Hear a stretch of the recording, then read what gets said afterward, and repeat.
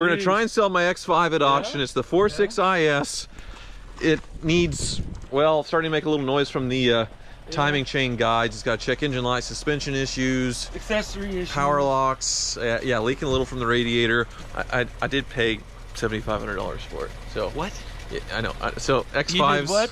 X5s, they they I guess the, you People are kinda- the dumbest automotive channel on YouTube, aren't you? Welcome to Hoovie's Garage, the dumbest automotive channel in all of YouTube. And a question I wrestle with frequently is whether I should get my dealer's license again. I did have a dealership years ago. I was terrible at it and failed in the business, went to do something else, and then started doing YouTube videos. And well, here I am today. But now I could use a dealer's license for a number of reasons, not just to buy and sell cars and make money. Honestly, the amount that I pay in registration and taxes with my Hoopty fleet, with purchasing, keep in mind sales tax like 7 8%, I spend over $100,000 a year just on that. Yeah, I know it's out of control and it's more than I ever made as a car dealer any year that I was working in the car business. But if I got my dealer's license, that would wipe it out all in one swoop because I could drive around on dealer plates if I don't keep cars for very long. There's no reason for me to tag and register them, do all that kind of stuff. But if you get a dealer's license, you have to have obviously a commercial space. You can't do it out of your house, which means you have to maintain business hours. So you'd have to hire an employee and different insurance and all that stuff. It adds up to the point where that $100,000 I'm spending a year, well, it gets eaten up by a commercial space I'm renting or buying, employees, uh, liability, taxes, all that stuff. So I haven't done it yet. But every time I go to the tag office and write that check, it is something that I certainly think about. And actually now I have an opportunity to tiptoe back into the car business because Urination Bob is actually in Atlanta, Georgia, filming VinWiki. He's been a car dealer, a car part seller, junkyarder for 30 years now, so a lot of great stories. But since he's gone, he needs somebody to go around and check all the wholesale sources, something that I used to do. I even introduced him to a few of these and uh, bid on the cars. But the situation here with car sales is so, so bad right now that really it's not very much fun. When it comes to inventory, dealers are keeping just about anything that they can make money on that won't leave their customers stranded, and only the worst of the worst is getting kicked off to wholesale. Auctions are a minefield, and these dealer wholesale bidding, where you actually go to the dealership itself and bid on their wholesale cars, well, the pickings are very, very slim, and you really have to figure out why something was traded in because usually people aren't upgrading because they want to, given how scarce inventory is and how high prices are. So people, for the most part, are upgrading because they absolutely have to, and the cars they're trading in reflect that. In addition to bidding cars, there's another car that I absolutely cannot sell, which is another reason why I probably shouldn't be a car dealer again, and that's the 2003 BMW X5 that I bought for the BMW Dream Team. It's the 46 IS with only 113,000 miles, but I got had on that car pretty good because the seller said it wasn't a project, and well, it needs the timing chain guides, it needs suspension, it, it needs all of the mechanical stuff that X5s need, and it's mechanically totaled basically, but it's all pretty obvious when you look at the car. But I'm gonna kick that over to the dealer wholesale auction and see what I can get $7,500 into it, so fingers crossed there. But first, we're gonna go bid cars. So let's go. All right, so I'm at the first new car store and I've got the list. It's only six cars and uh, well, here they are. Colorado Fusion, Honda Element, Hello Dolly, Dodge Neon, and a CRV. Element, that, that's a good one there. So this store is a little bit of a letdown in that they don't tell you how much it sold for, just if you won or lost on your bid. So let's uh, let's wander through and take a look here. Honda CRV, a 2011 with 212,000 miles. Oh yeah. Oh. well, that's a noise. Yeah. Well, it's quiet now, but that cold start chatter, I thought these were timing belt cars, so that's a little weird. Probably gonna pass on it just from that horrible noise on the cold start and 212,000 miles. So uh, next, the Dodge Neon, uh, rust, slammed in the front. Oh, they definitely hit a curb in the ice storm here, so that's probably why they dumped it. Let's see how it runs. Oh, but the steering wheel matching the floor mats, that is something. Only 106,000 miles. Oh, okay, this, this is definitely going to be another, another pass. Honda Accord is listed as a bad alternator with 126,000 miles. Not buying any projects for Bob really, but uh, Yeah, it's not all that nice either, so probably gonna pass. 110,000 miles on the Chevy Colorado, probably the five cylinder. Used to sell these when they were new. Ooh, that is a really, really bad paint job, but does appear to be a rust-free truck. Let's see what we got. Pace model roller window, Colorado. Actually seems to run pretty nice. No lights? Hey, we might got somebody a work truck here. Take it for a spin. Well, we have our first warning light for the battery, so this one may have a bad alternator as well. Probably don't want to drive this thing too far and get stranded, so let's just do a quick romp. It is a two-wheel drive.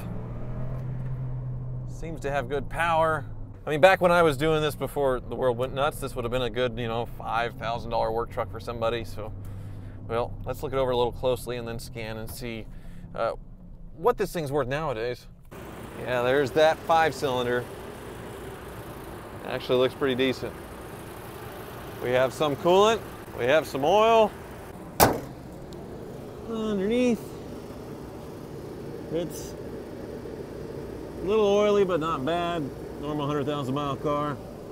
So now they're saying that that $5,000 number is basically wholesale on this thing, $4,500 with a retail range of 4,700 to 11,750. Beautiful. Uh, I think with this one, Bob's not really gonna like it. Uh, quite a hoopty, so well, maybe we could just steal it. I'm gonna put down a thousand bucks. You can't just put a thousand bucks, so it's gonna be one thousand sixty-nine dollars. Next to it, we have a Grand Cherokee with 149,000 miles. That, uh, oh God, oh, smell. Whoa, oh, oh God. How? How do you do this to your car? Oh, that, that dog food? Oh. Oh. Oh. Oh. Oh. Oh, uh, no. All right, now the Honda. These are hot properties. Missing a trim piece here, but alloy wheels. So dang cool. They've got one of the seats folded up, you know, safari style like an old Land Rover. And then the rubber, completely flat seating. These are great campers. These are great everything. And they've gone way up in value since they quit making them, of course. This one looks really cool. No lights other than the tire pressure monitor system, which is pretty normal. The sensors go bad. Air conditioning. Blowing cold. It's not clean, but it's not not like that Jeep, so good for that. This might be a car. Here's the bell of the ball here. A good little jump to test things there. A little clunky in the suspension, but not bad. Wheel bearings sound all right. Yes, I'll buckle my seatbelt. Stop straight. I think we have something here. So this one's good. It's actually something Bob wants. So I called him because I thought, well, looking at the phone, maybe around four grand, something like that. Uh, uh, but Bob's saying if I want something, you got to really go over. So Bob, what do you want to do on this Yeah. lovely CRV? Uh, yeah, right. Sometimes you gotta you gotta you gotta step up, and uh, especially tax season around the corner or whatever. But uh, yeah, MMR I think was around four grand on. Is that right? Yeah, yep, that's right.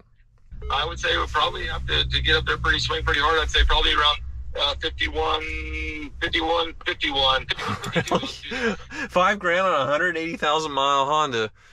Oh, That's the world we live in. it's 11 years old. Okay. All right, you sure? Yeah, and you know what's funny is uh, there's a good chance I might not even get it, Tyler. And that's that's swinging for the fence on that one. Well, I mean, this is basically the only one here that's even remotely worth buying, but there's still one other place to go, so I'll let you know if there's any nice prospects. How's how's how's VinWiki? Are you prepping?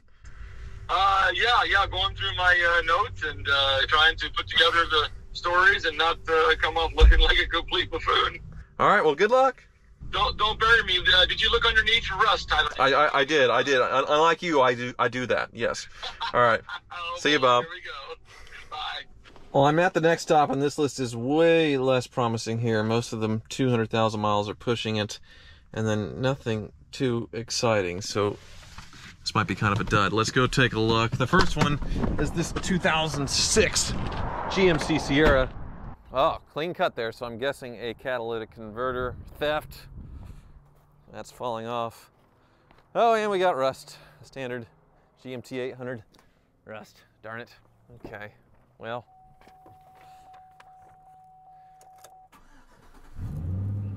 Yeah, definitely no muffler on it. Belongs in Newton, actually. But probably too much of a project. 200,000 miles, cracked windshield. So that's no caravan with a big dent in it. That's not a urination Bob special. Oh, Honda Civic. Ruined front bumper. Bad window tinting. Another just gross interior. Electrical box just hanging there, so that's out. Nissan Versa could be the nicest Nissan Versa in the world, and it's definitely not. But it was, even if it was the nicest one, we'd still be out. Pure dry. Oh my God! How do you get it on both sides? And disgusting on the inside. 190,000 miles, so that one's used up. The Jeep Grand Cherokee, 220,000 miles. So, yeah, that's out. Journey, Equinox, no. Corolla. Ooh. Well, we have something here. A Corolla XRS. On the sheet, it just says a 2009 Corolla with 194,000 miles, but we have an XRS with a stick. I'm getting excited about a Corolla because that's it. okay. Well, let's see. Cracked windshield. No lights though. And a stick shift. Let's take it for a ride. All right, you go, XRS. Oh, yeah. it's, it's hitting it. So this one's pretty good. Air works. Let's see, windows. Windows are working. Sunroof. Sunroof is doing the job. Pretty clean interior, actually. We'll send the VIN over to the Bob and see what he thinks, but probably, I don't know, $4,000 bid, six to $7,000 retail after some conditioning. It needs brake rotors for sure. Windshield.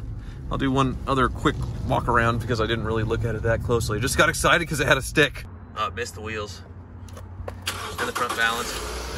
She's already off for her next uh, victim. So after seeing the wheels, which are oxidized so badly, which is funny because it's nice underneath, it's just probably defective wheels.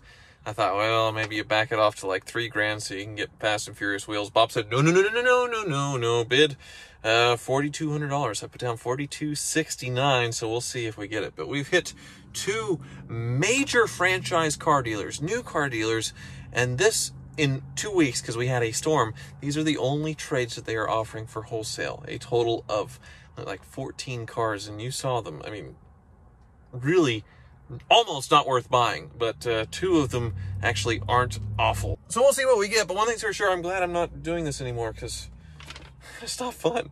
All right, I have the results right here, but before we look into whether I spent Urination Bob's money on some real Japanese prizes and bid enough, let's talk Hoovie's Garage merch, which is linked below. T-shirts here, classic Hoovie's Garage blue, along with a lot of cool new styles, including the Countach shirt, which is a popular one, but also Hoovie's Garage stickers. You can see right here, it's covering up holes on my Porsche, so you can fix your hooptiness in your car by putting a sticker over it, or on your laptop or something you use every day. And if you tweet me at Hoovie's Garage, I will share it in the video like I am right now. Matthew Ruppert uh, put it on his Pathfinder, it appears, or maybe that's an Infiniti, Looks really good on his window, so thank you for that. And also, a European fan, Brian, put it on his Touran.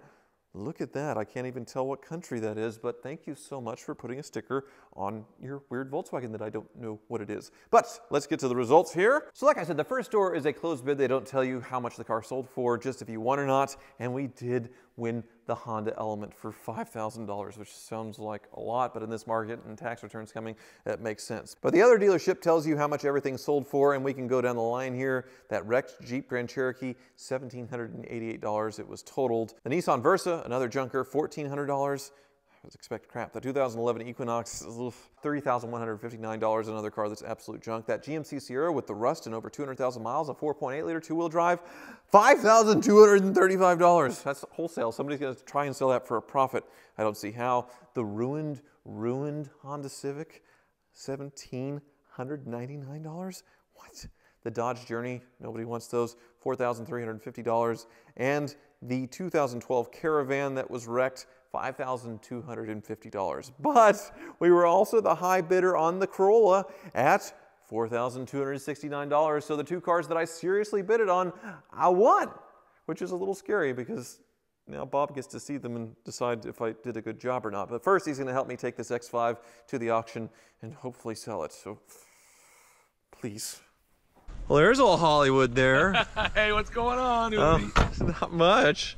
Love the Alfa. Uh, yeah, first one I've had. I've always had a uh, kind of a hankering for one of these things. So, how do you like the YouTuber life? Uh, I'm not. A, I'm not a YouTuber. I, I, I'm, I don't want to be a car dealer anymore. This isn't any fun. So Yeah. we're going to continue with this. Oh, we're going to try and sell my X5 at auction. It's the 46 IS. It needs, well, starting to make a little noise from the uh, timing chain guides. It's got check engine light, suspension issues, Accessory issues, power locks, uh, yeah, leaking a little from the radiator. Yeah. All these things that people can easily see Right, right. and, and this is not like I'm, I'm doing something, I'm pulling something over on anybody. You can easily see all of these issues and you can test drive it at the auction. Yep. It's not like the Subaru Baja where the rust is not going to kill somebody. It's just all mechanical right. stuff. So yeah, it is what you see at face value. I, I, I did pay $7,500 for it. So What? yeah, I know. I- So X5s, what? X5s, they, they I guess the, People you are kinda- the dumbest automotive channel on YouTube, aren't you? people do kind of know at the auctions that X5s are landmines. So maybe will be another example of how crazy prices are, or maybe maybe or I'll be it could be another example of uh, how bad BMWs are. Yeah. So we'll drop this off. Can I, All right, can I let's drive do that? Uh, you got it. I haven't driven one of these four cylinder ones.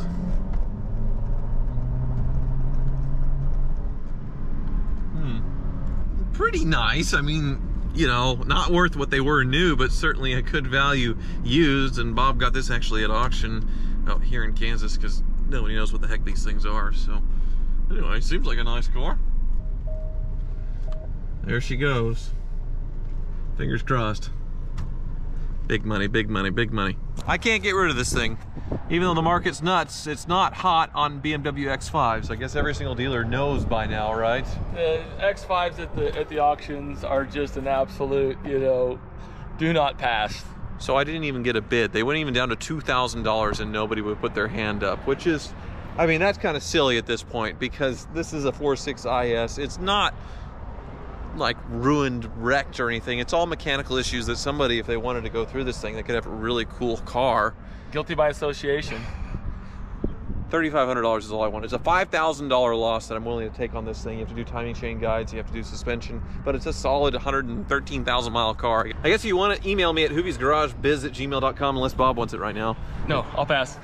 Thank you. Well, you're smiling because you had a good day. You sold one of my ex Hoovie cars, Yeah, I guess. I mean, I guess you call it a good day. It's uh, that old uh, 88 uh, Fleetwood. the purple Brougham. The Yes. purple Nurple is off No, to a no, new no. home. It's the Merlot Brougham. Ah. yes.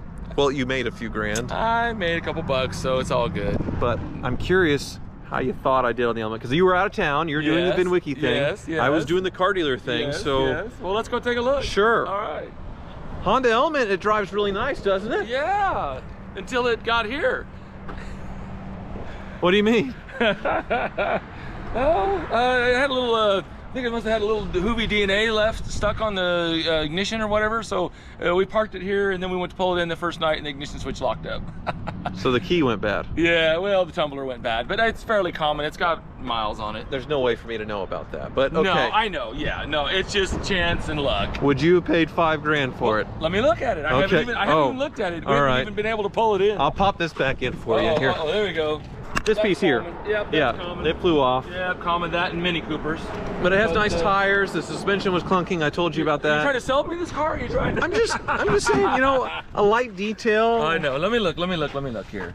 All right. Well, you know I'm an interior snob, Yeah. and uh, little, little, uh, little kind of below, you know, kind of my standards. But it was uh, one owner, I believe, right? Yes. Yeah. No accidents. So You know, and these are utilitarian cars, so it's not like that's gonna really like, you know, it's not like it's a BMW or Mercedes or something. It'll detail out. Yeah, yeah, absolutely. Yeah.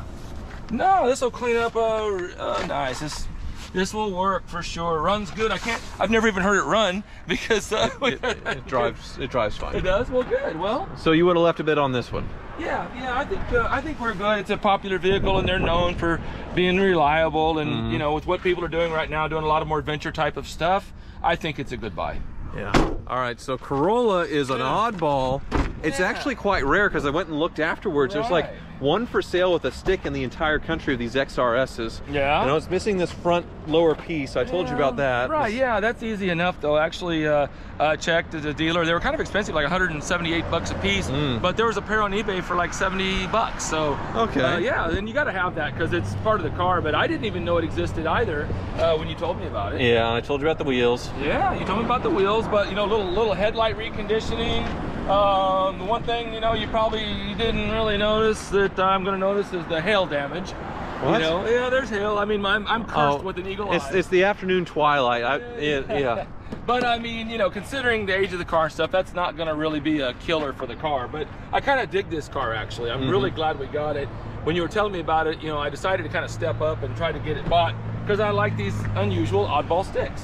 Well, and still the a- interior of this is nice. Like a 200,000 mile 15 year old Camry would Yeah. still sell for like three, 3,500 bucks. So this is yeah, no, cool. this is cool. XRS manual with the like a Camry motor in it or a Scion TC basically with four doors. So it's it's It's- cool. It's, the old pony car um, trick of the, of the. It's the Japanese version of a pony car. Take your bigger motor and put it in your smallest car.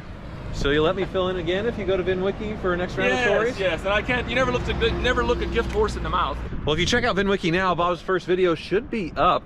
I think Friday is the release It- day. today- yeah, today should be Friday when I Yeah, release I this. I don't look like too much of an idiot.